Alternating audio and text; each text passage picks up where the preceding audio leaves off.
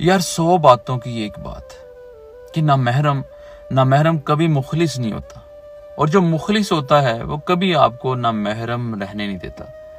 वो आपको महरम बनाता है हर सूरत में, हर कीमत पर, क्योंकि आप उसके लिए बहुत कीमती होते हो, और कोई भी इंसान कीमती चीज़ को खोना नहीं चाहेगा।